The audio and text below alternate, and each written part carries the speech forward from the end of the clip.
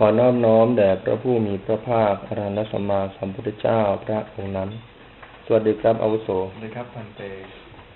เดี๋ยวมาเรียนวิสุทธิมรรคปัญญานิเทศในเรื่องของวิสุทธิเจ็ดนะ เริ่มจากทิฏฐิวิสุทธิ แต่ว่าศีลวิสุทธิเป็นวิสุทธิแรกอยู่ในเรื่องของศีลนิเทศในวิสุทธิมรรคเนี่ยแหละอ่าส่วนจิตวิสุทธิก็เป็นเรื่องของสมาธินิเทศอ่า ซึ่งไม่ได้เรียนนะเราเรียนปัญญานิเทศเลยปัญญานิเทศมีสองภาค คือภาคแรกพูดถึงเรื่องของวิปัสสนาภูมิขันธ์ท่ายตนะสัจจะอินทรีย์ปฏิจจทุบาทเป็นต้นนะส่วนภาคที่สองนี่จะเป็นเรื่องของอวิสุทธิที่เหลือห้าอย่างทิฏฐิวิสุทธิความหมดจดในการเห็นว่าไม่ใช่สัตว์บุคคลตัวตนมีแต่นามรูปเท่านั้นแล้วก็กังขาวิตรณวิสุทธิก็ความหมดจดในการที่จะข้ามความสงสัยในการทั้งสาม นะรู้ปัจจัยของนามรูปอย่างดีอย่างละเอียดนะพอที่จะละไอ้เจ้าอเหตุกทิฏฐิ หรือว่าวิสมะเหตุกทิฏฐิ ความเห็นที่ไม่มีเหตุหรือว่ามีเหตุที่ไม่เหมาะสมไม่สมควรได้มัคคามัคคะยานัทัศนวิสุทธิก็เป็นความหมดจดของความเห็น ความรู้เห็นในการที่รู้ว่าอะไรเป็นทางอะไรไม่ใช่ทาง ข้ามวิปัสสนุปกิเลสได้ ปฏิปทาญาณทัศนวิสุทธิ นี่ก็เป็นความเห็นหมดจด โดยที่รู้ข้อดำเนินทางปฏิบัติ ในการนี้ทำให้ถึงพระนิพพาน เริ่มตั้งแต่ทางคานกุศลเป็นต้นไปแหละถ้ามัคามัคคะญาณทัศนวิสุทธินี่ก็สัมมัสนะอ่านี่ก็อุทยพยายานอุทยพยายานที่ผ่านแล้วนะ แล้วก็ญาณทัศนวิสุทธิสุดท้ายนี่ก็หมายถึงมรรคญาณเพราะฉะนั้นวิสุทธิห้าเนี่ยนะที่เราเรียนเนี่ยวิสุทธิแรกผ่านไปแล้วนะแล้วก็มีกี่ลายจำได้ไหมวิสุทธิแรก นะครับ มีแบบละเอียดใช่ไหมครับไม่ของสมถะของสมถะสมถะยานิกแล้วก็มีหอมีอย่างละเอียดแล้วก็มีพิสดารอาการสี่สองครับแล้วก็มีเรื่องของ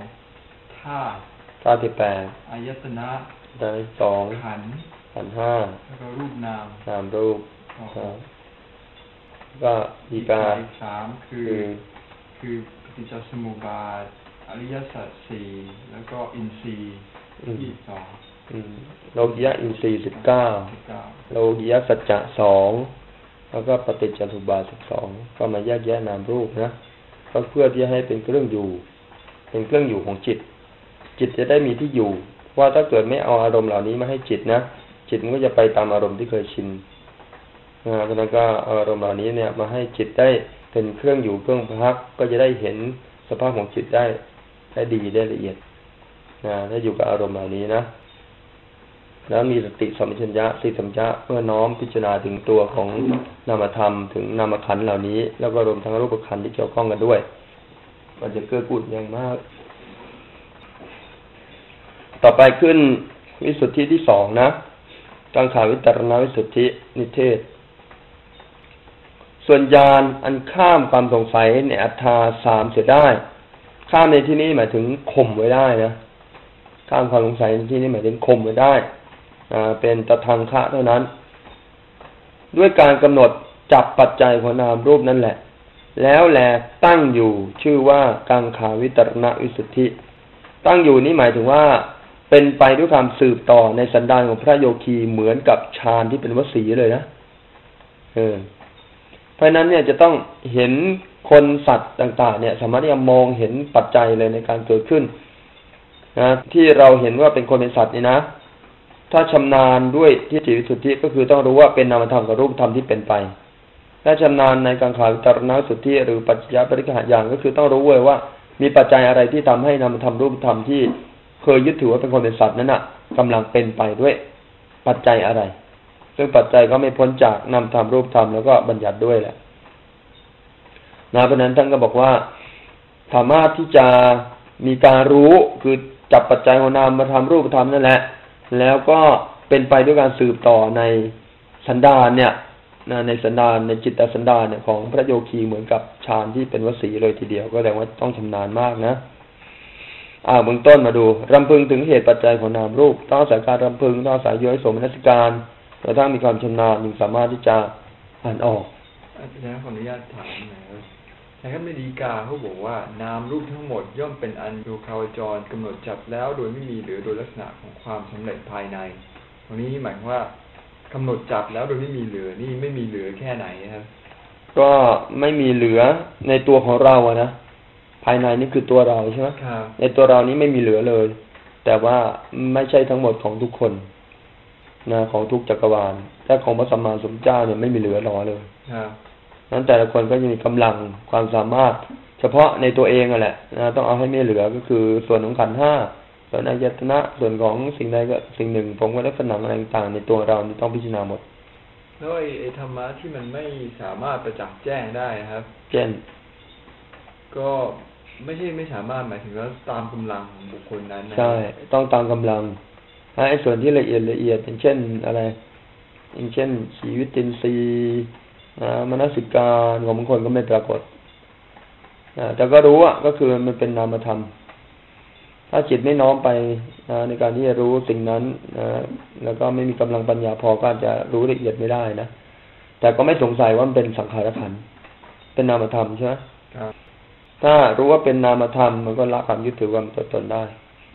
รู้ว่าเป็นสังขารขันมันก็เป็นนามธรรมก็ละความยึดถือความตัวตนได้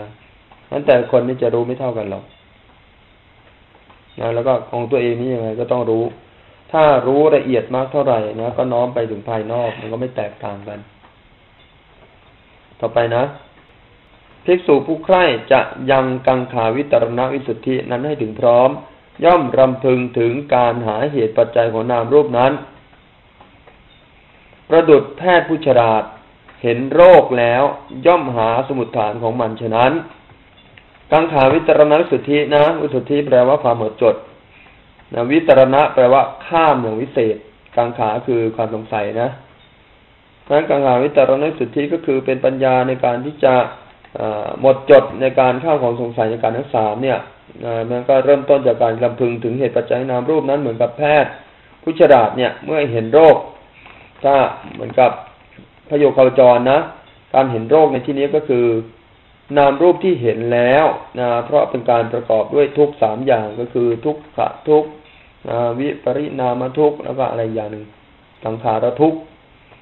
ก็คือเห็นแล้วว่านามรูปเนี่ยนะมันเป็นทุกข์นะเหมือนกับในแพทย์ที่เห็นแล้วว่าโรคเนี่ยมันนำมาซึ่งทุกข์เพราะฉะนั้นขันห้าเนี่ยเป็นโรคนะโรคโตอาจะต้องเห็นอย่างนั้นก่อนนะ แล้วก็หาสมุดฐาน สมุดฐานก็ได้กับปัจจัยนั่นเองนะที่ตั้งขึ้นพร้อมเหตุที่ตั้งขึ้นพร้อมของมันนะ หรือเหมือนกับประดุดบุรุษผู้มีน้ำใจมักสงสารคือเป็นคนที่ช่างการุณาเนี่ย ก็พบเด็กอ่อนตัวเล็กๆ ยังนอนแบเบาะนะก็คือนอนแบอยู่แล้วก็นอนอยู่ที่ถนนด้วย แล้วย่อมลำพึงถึงมารดาบิดาของเด็กนั้น ด้วยคิดถามในใจว่า นี่ลูกน้อยของใครเล่าหนอฉะนั้น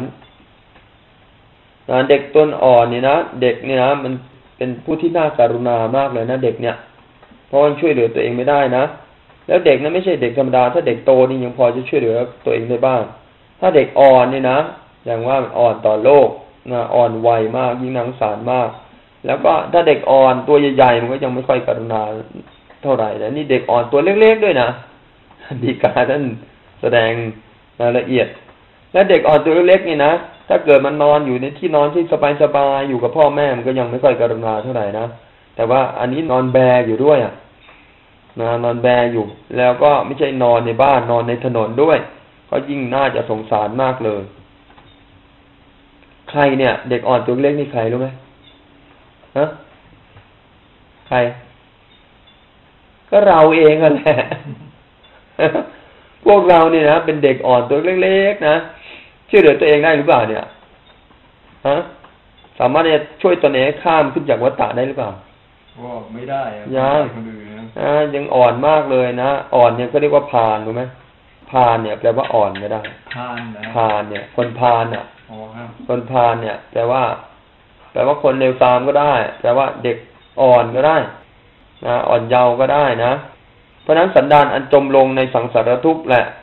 ย่อมได้ภาวะที่ควรแก่การสงสารนะการที่เรายังจมอยู่ในวัฏฏะทั้งหลายเวียนว่ายตายเกิดเนี่ยนะเดี๋ยวก็ต้องกลายเป็นเด็กอีกอะ่ะ เพราะฉะนั้นเราก็คือเด็กนั่นเอง แล้วก็เป็นเด็กที่น่าสงสารด้วย เพราะว่ายังไม่สามารถที่จะช่วยเหลือตนเองให้ออกจากวัฏฏานี้ได้ เบื้องแรกทีเดียวภิกษุนั้นย่อมใคร่ควรดังนี้ว่า นามรูปนี้ก่อนอื่นไม่ใช่สิ่งที่ไม่มีเหตุ เพราะมันถึงซึ่งความเป็นเช่นเดียวกัน ทุกแห่งทุกเมื่อแล้วก็ทุกอันนะคือไม่ว่าเป็นนามรูปที่ไหนที่ไหนนะมันเหมือนกันหมดแหละว่าจะเป็นมนุษยโลกเป็นอบายโลก เป็นเทวโลกนะ ก็ไม่มีความแตกต่างอะไรกันนะ ไม่ว่าจะเป็นสถานที่ไหนในการไรหรือว่าในวัตถุในบุคคลนะสิ่งใด ๆ ก็แล้วแต่นะนามก็เป็นภาพที่รู้เท่านั้นแต่โลกก็มีความแตกสลายเท่านั้น นั้นไม่มีความแตกต่างกัน ไม่ใช่เป็นสิ่งที่มีปัจจัยภายนอกมีอีส่วนเป็นต้นเป็นเหตุนะปัจจัยอย่างนี้ก็เรียกว่า วิสมะเหตุกะนะ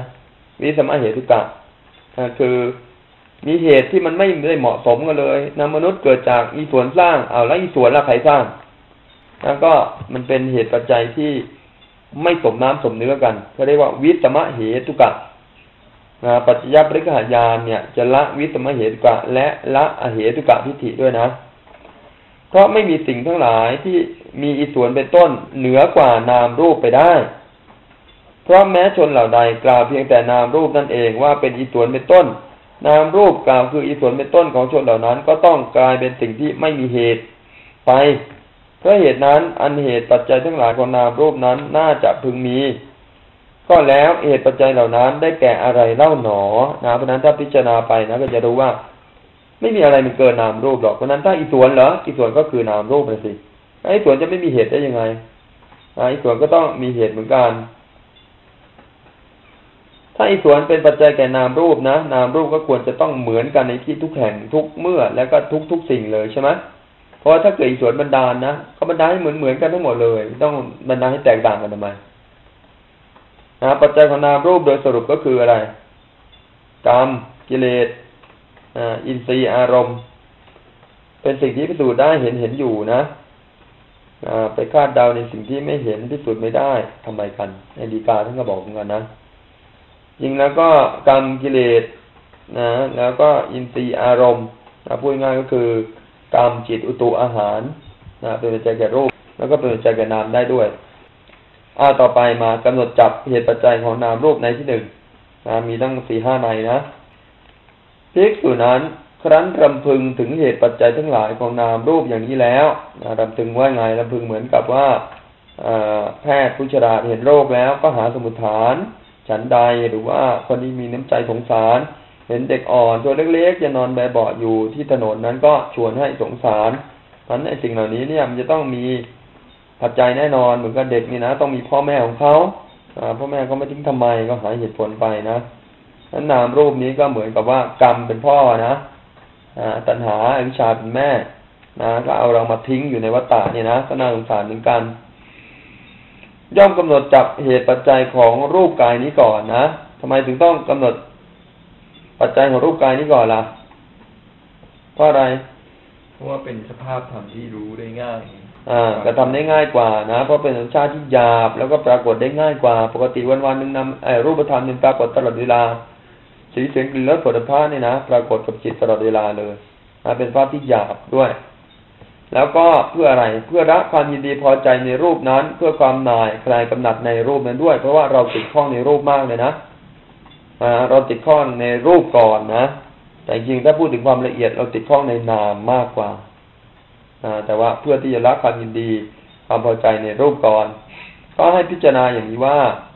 กายนี้เมื่อเกิดหาได้เกิดภายในกลีบดอกไม้มีอุบล คือบัวสาย ประทุมคือบัวก้านสีแดงอุนทริกก็คือบัวก้านสีขาว และโสคันธิกะคือบัวเผื่อนสีขาวเป็นต้นไม้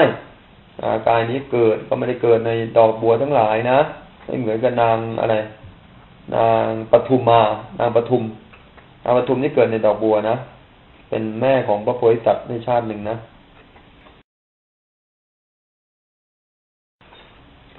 ก็ไม่ได้เกิดในดอกบัวดอกกระทุมที่ไหน หาได้เกิดภายในรัตนชาติมีมณีและมุกดาหารเป็นต้นไม้ที่แท้ก็เกิดอยู่ในระหว่างกระเพาะอาหารใหม่ และกระเพาะอาหารเก่า หันหลังทางหน้าท้อง หันหน้าทางกระดูกสันหลัง มีไส้ใหญ่และไส้น้อย ล้อมอยู่ ตัวมันเองก็เป็นสิ่งปฏิกูล มีกลิ่นเหม็นน่าเกลียด แล้วก็ยังอยู่ในโอกาสที่ปฏิกูล มีกลิ่นเหม็นน่าเกลียดอีกด้วย เป็นที่คับแคบยิ่งนัก ราวกับตัวหนอนเกิดอยู่ในปลาเน่า ขนมบูดบ่อโสโครก และหลุมน้ำคลำเป็นต้นฉะนั้น ตัวหนอนนี่มันก็น่าเกลียดอยู่แล้วนะ แล้วก็ไปเกิดอยู่ในปลาเน่าในขนมบูดในบ่อโสโครกหลุมน้ำคลำต่างๆ ยิ่งน่าเกลียดมากขนาดเลยนั้นตัวเรานี่ไม่ได้วิเตวิโสมาจากไหนเลยนะบุคคลที่สำคัญตนหรือว่าดูหมิ่นผู้อื่นจะมีอะไร นอกจากการไม่เห็นอริยสัจเท่านั้นร่างกายของเราก็ล้วนแต่ ปฏิกูลมาก ๆ เลยด้วย ธรรมะห้าประการเป็นเหตุปัจจัยของรูปกายนั้นที่เกิดอยู่อย่างนั้นก็คือทำสิ่งอย่างนี้ก็ได้แก่ อวิชชา ตัณหา อุปาทาน กรรม จัดเป็นเหตุ เพราะเป็นตัวทำให้เกิดนะ อาหารจัดเป็นปัจจัย เพราะเป็นตัวที่อุดหนุน อ่านี่เขาแยกกันนะ อวิชชาเนี่ยเป็นตัวที่ปิดบังโทษของรูปกาย ตัณหากับอุปาทานเนี่ย เป็นตัวที่ยินดีปรารถนาในภพปรารถนาในกำเนิดปรารถนาในการเกิด เป็นตัวที่เข้าไปยึดถือส่วนกรรมนั้นก็เป็นสหายเข้าไปปรุงแต่งนะเป็นสหายของตัณหาวิชานั่นแหละ ตัวปรุงแต่งแล้วก็จัดสรรซัดไปทำให้เกิดรูปกายนี้นะอันนี้จัดเป็นเหตุนะเหตุก็หมายถึงว่าตัวปัจจัยที่สำคัญนั่นเอง เป็นเหตุที่ไม่ทั่วไป นะเป็นเหตุที่ไม่ทั่วไปเพรากายของแต่ละคนนี่นะมีความแตกต่างกันเพราะว่าอวิชชาตัณหาอุปทานกรรมมันแตกต่างกันนะอันอันนี้เป็นอาสาธารณปัจจัยเขาเรียกว่าเหตุนะ ส่วนอาหารนั่นนะเป็นปัจจัยนะเพราะว่าเป็นตัวอุดหนุน เป็นปัจจัยที่ทั่วไปนะเหมือนกันหมดเลย ทุกคนที่เกิดมาเนี่ยนะ ต้องมีอาหารนั้นเลยนะถ้าเป็นรูปประพรมนั้นไม่มีอาหารหยาบ นะไม่มีอาหารที่เป็นรูปอาหาร แต่ว่าก็ต้องมีนามอาหารนะ แต่ในนี้พูดถึงรูปอาหาร ให้รู้ว่าถ้ามีการกินอาหารนี่เฉพาะสัตว์ที่เป็นไปในการมาภูมิ ยกเว้นสัตว์นรกสัตว์นรกไม่ได้กินอาหารหรอกอยู่ได้ด้วยกรรมนะนอกนั้นก็ต้องกินอาหารทั้งนั้นนะหยาบหรือละเอียดก็แล้วแต่นั่นอุปมาเหมือนอะไรนะเหมือนกับดินน้ำอุตุเป็นปัจจัยแก่หน่อพืชนะไอตัวเมล็ดพืชเนี่ย คือมันออกมาจากต้นอะไรเนี่ยนะต้นไม้นั่นนะมันมีความที่เป็นของมันไม่สาธารณะ แต่ว่าสิ่งสาธารณะของต้นไม้ที่มันจะงอกขึ้นมาได้คือดินน้ำนะพวกอาหารอุตุพวกนี้นะใช้ดินน้ำอุตุเหมือนกัน แต่ว่าออกผลมาแตกต่างกันเพราะมันคนละพันกันอันพันเหล่านั้นเนี่ยนะการที่มีพันแตกต่างกันเนี่ย เป็นอาสาธารณะปัจจัย ส่วนดินน้ำอุตุนั้นเป็นสาธารณปัจจัย เหมือนกับอวิชชาตัณหาอุปาทานกรรม เป็นอาสาธารณปัจจัย ส่วนอาหารที่บริโภคเข้าไปนี่เป็นสาธารณปัจจัย ใครก็ต้องกินอาหารทั้งนั้น อันหนึ่งในธรรมห้าอย่างนั้นธรรมสามมีอวิชชาเป็นต้น เป็นที่อาศัยเกิดของกายนี้ ก็คืออวิชชาตัณหาและก็อุปาทานนะเป็นที่อาศัยเกิดของกายนี้ ดังมารดาเป็นที่อาศัยเกิดของทารก ส่วนกรรมเป็นตัวยังกายนี้ให้เกิด ดุจบิดายังบุตรให้เกิดนะอวิชาตัณหาอุปทานนี้เป็นเหมือนกับมารดานะหล่อเลี้ยงอุปถัมภ์อุ้มชูตลอดเลย ส่วนกรรมนั้นเป็นตัวที่เป็นเหมือนกับบิดานะ เป็นตัวที่ทำให้เกิด อาหารนั้นเป็นตัวที่อุ้มชูกายนี้ไว้ เสมือนพี่เลี้ยง อุ้มทารกฉะนั้นอันนี้ก็เป็นการพิจารณาแบบหยาบๆมาก ๆเลยนะ พิจารณาแบบย่อและหยาบ แต่ว่าคนเขาก็สามารถเข้าใจแล้วข้ามความสงสัยได้เหมือนกันว่าอดีตมันก็เป็นมาอย่างนี้แหละ รูปร่างกายนี่อาศัยอวิชชาตัณหาอุปทานกรรมรวมทั้งอาหารจึงทำให้มีรูปกายนี้นะ ถ้าไม่มีอวิชชากายนี้ก็คงไม่มีหรอกอวิชชาในอดีตนะ ถ้าไม่มีตัณหาไม่มีอุปาทานในอดีต ก็ไม่มีรูปกายนี้ ไม่มีกรรมในอดีต เราก็ไม่ได้เข้าไปอยู่ในท้องมารดาหรอก แล้วถ้าออกมาจากท้องมารดาแล้วไม่บริโภคอาหารก็กายนี้ก็ดำรงอยู่ไม่ได้ นะเพราะนั้นก็อวิชชาตันหังประทานเป็นเหมือนกับมารดากรรมเป็นเหมือนกับบิดา แล้วก็อาหารเป็นตัวอุ้มชูเหมือนกับพี่เลี้ยงนางนมนะอุ้มชูทารกไว้ ครั้นทำการกำหนดจับปัจจัยของรูปกายได้อย่างนี้แล้ว ย่อมทำการกำหนดจับปัจจัยของนามกายต่อไปโดยในว่าจักกุญญาณอาศัยจักขุและรูปเกิดขึ้นดังนี้เป็นต้นนะอาศัยจักขุและรูปเกิดจากกุญญารวมธรรมะสามการเป็นภาษาอาศัยโสตะและเสียงอ่า เกิดโสตวิญญาณ ประชุมธรรมสามประการเป็นผัสสะเหมือนกัน อาศัยจมูกและกลิ่นนะเกิดกานวิญญาณ ประชุมธรรมสามประการก็เป็นภาษาเหมือนกันนะอาศัยลิ้นกับรสเกิดชิวหวิญญาณ ประชุมธรรมสามประการก็เป็นภาษาอาศัยกายกับโผฏฐะนะเกิดกายวิญญาณประชุมธรรมสามประการก็เป็นภาษาอาศัยใจกับธรรมะธรรมารมนะเกิดมโนวิญญาณ รวมธรรมะสามประการก็เป็นภาษาเพราะฉะนั้นเนี่ยนะนามกายเนี่ยนะสังเกตได้นะว่า นามกายเนี่ยนะมีปัจจัยที่เป็นสาธารณะคืออารมณ์และวัตถุนั้นเวลาที่ทำปริญญาในนามทั้งหลายนะ ต้องไม่ลืมในการที่จะรู้ว่ามีอารมณ์กับวัตถุนั้นเป็นปัจจัยรวมทั้งสัมยุญธรรมด้วยนะ อันนี้ก็เป็นการพิจารณาคร่าวๆย่อๆนะแต่ว่า สำหรับนามเนี่ยเขาก็พิจารณาโดยนี่ก็ได้นะ นามเนี่ย พิจารณาโดยอวิชชาตัณหาอุปทานกรรมก็ได้ ก็คือวิญญาณเนี่ยนะจิตเจตสิกนะวิญญาณเนี่ย หรือว่านามขันธ์สี่เนี่ยนะก็อาศัยอะไรวิชาเกิดนะเวทนาสัญญาและขันวิญญาณจึงเกิดตัณหาเกิดไอ้เจ้าเวทนาสัญญาสังขารวิญญาณจึงเกิดนะ นี่หมายถึงพวกวิบาก อุปทานเกิด มีอุปทานก็เลยเป็นปัจจัยทำให้เวทนาสัญญาสังขารวิญญาณเกิด มีกรรมในอดีตเป็นปัจจัยทำให้เวทนาสัญญาสังขารวิญญาณเกิด แล้วก็ไอ้เจ้าไอ้นามมาทำต่าง ๆ เหล่านี้ก็อาศัยนามอาหารเป็นปัจจัยทำให้เกิดได้เหมือนกัน ก็พิจารณาโดยปัจจัยย่อห้าอย่างนี้ได้เหมือนกันนะ แต่ว่าท่านพระพุทธโฆษาจารย์ท่านอยากจะพิจารณาในอื่นบ้างนะก็เลยพูดถึงอาศัยจักรุและรูปเกิดจากวิญญาณเนี่ย นะนั้นก็ได้หลายอย่าง ก็พิจารณาแค่นี้เองย่อๆคร่าวๆนะ ถ้าเกิดเป็นความแจ่มแจ้งเป็นความเข้าใจนะ ก็สามารถข้ามความสงสัยในการทั้งสามได้เหมือนกันอามาดูความสงสัยสิบหกประการทิสุนั้นเห็นความเป็นไป แห่งนามรูปโดยปัจจัยอย่างนี้แล้ว ย่อมสังเกตเห็นได้เองว่า นามรูปนี้เป็นไปอยู่ในการปัจนิชันใด แม้ในการอดีตมันก็เป็นไปแล้วโดยปัจจัย ในการอนาคตเล่ามันก็จักเป็นไปโดยปัจจัยฉันนั้น เพราะฉะนั้นการพิจารณาอย่างนี้นะ ปัจจยปริกายาเนี่ยนะเริ่มต้นแต่ญาณที่สองนี่นะคือต้องพิจารณาสามการตลอด ต่ออย่างนี้ไปนี่พิจารณาสามการตลอดเลยนะนะไม่ได้พิจารณาเฉพาะปัจจุบันเท่านั้น แม้นามารูปปัจเฉทญาณถ้าใครมีปัญญามากๆนะเขาพร้อมที่จะเตรียมตัวเจริญปัจจยปริกายาเนี่ยนะเขาก็พิจารณาสามการก็ได้ นะนำมาทำรูปธรรมนี่ไม่ใช่วันจะจะมีในปัจจุบันนี้เท่านั้นนะในอดีตชาติมันก็มีมาแล้วในอนาคตชาติมันก็มีมาแล้ว มันก็เป็นนามเป็นรูปอย่างนี้แหละ เพราะอะไร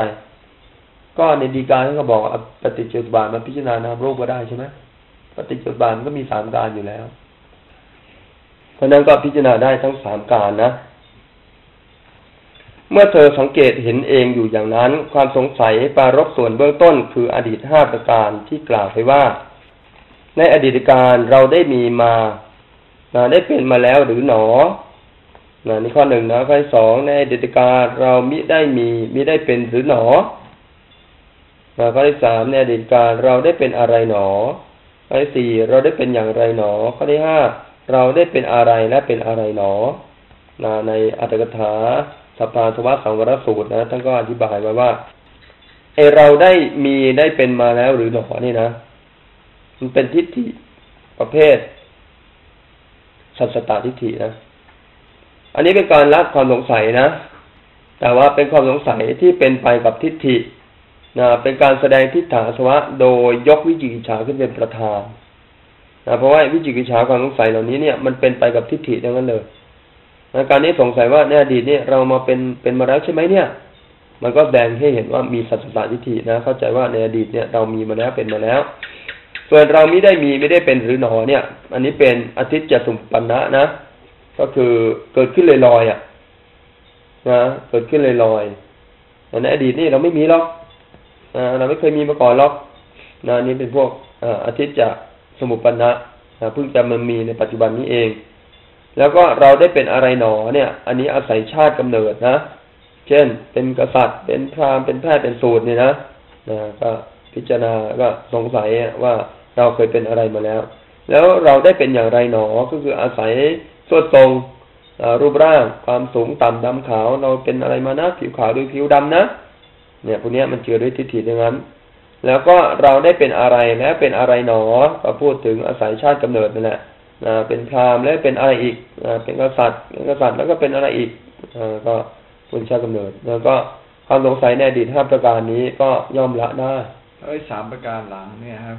การหลังทำไมสามประการหลังว่าเราได้เป็นอะไรหนอ เราได้เป็นอย่างไรหนอ เราได้เป็นอะไรเราเป็นอะไรหนอเนี่ยครับ ก็พูดอาศัยชาติกำเนิดไงครับ เข้าไปละความสงสัยตรงนั้นได้ไงนะครับ เพราะว่ามันไม่มีเราอ๋อครับ เออนะอันนี้มันถือว่าเป็นเราตลอดเลย คือเรามีเนี่ย มันเป็นสัจตะแล้วไงใช่ไหมครับ เป็นสัจตะบ้าง เป็นอาทิตย์จากสมุปปนนะบ้าง เกิดขึ้นลอยๆบ้าง คือเข้าใจว่ามีเรา แต่ครนี้ถ้าเกิดพิจารณาโดยความเป็นปัจจัยแล้วเนี่ยนะไอ้ที่จะสงสัยว่าเราเป็นอะไรมาไปเกิดในตระกูลไหนชาติไหนผิวดำต่ำสูงอะไรมันไม่ได้คิดเลยเพราะรู้ว่าเป็นไปตามกรรม แล้วก็ไม่มีประโยชน์อะไรในการจะไปคิดด้วยในอดีตก็ไม่พ้นจากนามรูปที่เกิดจากปัจจัยนะดังนี้นั้นใดแม้ความสงสัยปรารบส่วนเบื้องปลาย คือในอนาคตห้าประการที่กล่าวไว้ในบาลีว่า ในอนาคตการเราจักมีจักเป็นหรือหนอ เราจักไม่มีจักไม่เป็นหรือหนอ เราจะเป็นอะไรหนอ เราจะเป็นอย่างไรหนอ แล้วก็เราจะเป็นอะไรแล้วเป็นอะไรอีกหนอ อ่าพวกนี้ก็วุ่นวายมากเลยเนาะความคิดไปนะเราจักมีหรือจักเป็นเนี่ยนะเป็นพวกสัสตะนะ แต่ถ้าเกิดเราจักไม่มีจักไม่เป็นนี่เป็นพวกอุเฉทะอ่าเราจะเป็นอะไรนะอันนี้ก็อาศัยชาติกำเนิดนะ ว่าเราจะเป็นกษัตริย์เป็นพราหมณ์แพทย์สูตร เราจะเป็นอย่างไรคือจะหล่อหรือไม่หล่อสวยหรือไม่สวยผิวดำขาวยังไงเราเป็นอะไรแล้วเป็นอะไรหนอถ้าเกิดชาติหน้าเลยเป็นเทวดาแล้วจะเป็นอะไรอีกต่อไปนะเกิดเป็นมนุษย์เป็นสัตว์นรกเป็นอะไรก็อ่าอันนี้เป็นความเห็น เขาก็เห็นกันเห็นผิดกันอย่างนี้เยอะแยะไปนะอาทิต่างๆนะดังนี้นั้นใดแม้ความสงสัยปารบปัจจุบันหกประการนะ ที่กล่าวไว้ในบาลีว่าอันหนึ่ง หรือว่าบุคคลเป็นผู้มีความสงสัยในภายในตนของตนเนี่ยปารบปัจจุบันการในบัดนี้ ว่าเรามีอยู่เป็นอยู่หรือหนอข้อที่หนึ่งนะ เราไม่มีอยู่ไม่เป็นอยู่หรือหนอข้อที่สองข้อที่สามเราเป็นอะไรอยู่หนอ ข้อที่สี่เราเป็นอย่างไรอยู่หนอ ข้อที่ห้าสัตว์ผู้นี้มาแต่ไหนหนอ ข้อที่หกสัตว์ผู้นั้นจะเป็นผู้ไปที่ไหนหนอนะอันนี้ก็เป็นความ สงสัยเจือด้วยทิฏฐิของบุริชนทั่วไปนะ ข้อที่หนึ่งนี้บอกว่า เรามีอยู่หรือหนอ สงสัยในความเป็นเราแหละเนี่ยเรามีอยู่หรือไม่มีอยู่นะเนี่ย นะปุถุชนผู้โง่เขลาเนี่ยเปรียบเหมือนกับคนบ้าเพราะนั้นอย่าไปคิดเลยว่าเอ๊ะทำไมเขาสงสัยว่าเรามีหรือเราไม่มีสงสัยได้ยังไงอะ ก็เรามีอยู่ทนโทษนะเขาเลยพูดถึงไอ้เรื่องเนี่ยเรื่องถาสภาสวาสูตรนะ บอกว่ามีเด็กนะ เด็กสองคนนะเป็นลูกของเมียหลวงกับเมียน้อยนะลูกของเมียน้อยเนี่ยโกนหัว ส่วนลูกของเมียหลวงเนี่ยไม่ได้โกนหัว แล้วก็ให้ไปนอนในเปลอยู่ใกล้กัน คราวนี้เนี่ย พอไอ้ลูกของเมียหลวงเนี่ย นอนหลับเขาก็จับโกนหัว ก็เลยกลายเป็นโกนหัวทั้งคู่เลยใช่ไหม คราวนี้ลูกแม่เล็กนี่เขาไม่มีปัญหาเพราะโกนหัวอยู่แล้วแล้วลูกแม่ใหญ่เนี่ย ตื่นขึ้นมา ก็คงจะไปจับโดนหัวของตัวเองหรือไงไม่รู้ก็เลยคิดว่า เอ๊ะเรานี่เป็นลูกแม่ใหญ่ ลูกแม่เล็กกันแน่เนี่ย เป็นไปได้ยังไงนะเป็นไปได้หรือเปล่าเป็นไปได้ครับสงสัยนะสงสัยว่าเราเป็นลูกแม่ใหญ่หรือว่าลูกแม่เล็กนะคือคือมันไปคิดในสิ่งที่ไม่ควรคิดอะนะครับมันก็แล้วแล้วก็มันก็ เอ๊ะถ้าหาโดยเฉพาะหาคำตอบไม่ได้ มันก็เนี่ยวุ่นวายสงสัยแบบ ใช่ มันก็ได้แง่คิดไง คือไปเห็นไปได้ยินอะไรมาใช่ไหมแล้วก็มาคิด เอ๊ะเรานี่มีอยู่หรือไม่มีอยู่นะเอ้าเขาบอกว่าเราไม่มีไม่มีตัวตนเอ๊ะแล้วนี่เป็นเราหรือไม่ใช่เรานะเอ๊ะเรามันมีหรือไม่มีกันแน่ใช่ไหมเนอะเออ อันนี้ก็เป็นความเห็นผิดอ่าประเภทหนึ่งนะ เป็นความสงสัยได้เจอด้วยความเห็นผิด หรือว่าเราไม่มีอยู่ไม่เป็นอยู่หรือหนอเนี่ยเราไม่มีใช่ไหมเนี่ย นะเราไม่มีไม่เป็นอยู่ใช่หรือเปล่าอย่างเราถามนี่ก็ยกตัวอย่างนะว่า